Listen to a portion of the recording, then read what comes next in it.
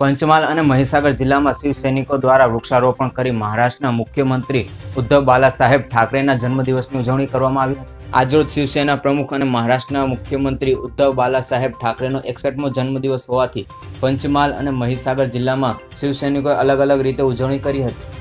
જેમાં મોરવા હડફ તાલુકાના પ્રમુખ ચેતન બારિયા અને તાલુકા ઉપપ્રમુખ રવિ વણઝારાએ અને શિવસૈનિકોએ મળી મોરવામાં વૃક્ષારોપણનો કાર્યક્રમ કરેલ હતો તથા કાર્યકર્તાઓ દ્વારા મીઠાઈ વહેંચીને જન્મદિવસની ઉજવણી કરી હતી અને સંતપુરા તાલુકામાં મોટી સરસણ મુકામે શિવસેનાના જિલ્લા પ્રમુખ લાલાભાઈ અને સંતપુરાના તાલુકા પ્રમુખ કિરણ રાવલની અધ્યક્ષતામાં મોટી સંખ્યામાં શિવસૈનિકો મળ્યા હતા અને વૃક્ષારોપણ કરી મીઠાઈ વહેંચીને જન્મદિવસની ઉજવણી કરી હતી.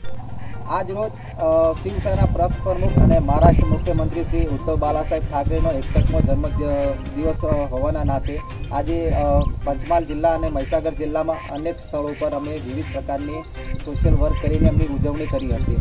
આજરોજ હું અને સંતરામપુર તાલુકાના મોટી સરસણ ગામમાં કિરણભાઈ રાવલની અધ્યક્ષતામાં અહીંયા અમે વૃક્ષારોપણનો એક કાર્યક્રમ કરેલો હતો. જેમાં મોટી સંખ્યામાં વૃક્ષોનું વૃક્ષારોપણ કરેલું હતું અને જોડે પર્યાવરણને ધ્યાનમાં રાખી અને અત્યારે કોરોનાને લઈને ઘણા બધા ઓક્સિજનના પ્રોબ્લેમ આવે તો ઓક્સિજન ભરપૂર પ્રમાણમાં મળી રહે જેને લઈને વૃક્ષારોપણનો કાર્યક્રમ રાખેલો હતો. અને જોડે હડપમોરા તાલુકાની અંદર ચેતનભાઈ બારિયા તથા રવિભાઈ ભણજારા દ્વારા ત્યાં પણ વૃક્ષારોપણનો એક કાર્યક્રમ કરવામાં આવેલો હતો અને અલગ અલગ તાલુકામાં અલગ અલગ જગ્યાએથી શિવસેના પક્ષ પ્રમુખની અલગ રીતે ઉજવણી કરવાનો અમે નિર્ધારિત કર્યું હતું અને આવી રીતે અમે તમામ શિવસૈનિકો સાથે મળીને અમે ઉજવણી કરેલ હતી.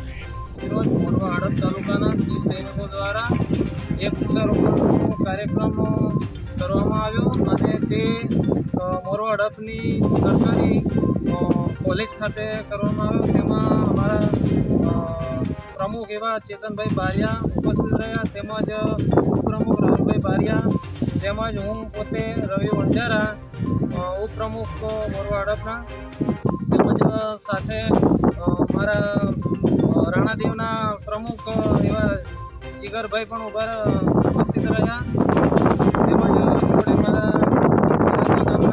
પ્રમુખ એવા મહેન્દ્રભાઈ પણ ઉપસ્થિત રહ્યા હતા અને આજરોજ આ વૃક્ષારોપણનો કાર્યક્રમ કરવામાં આવ્યો. જય જય Shri Ram. Vinod Pagi V India News Panchmahal.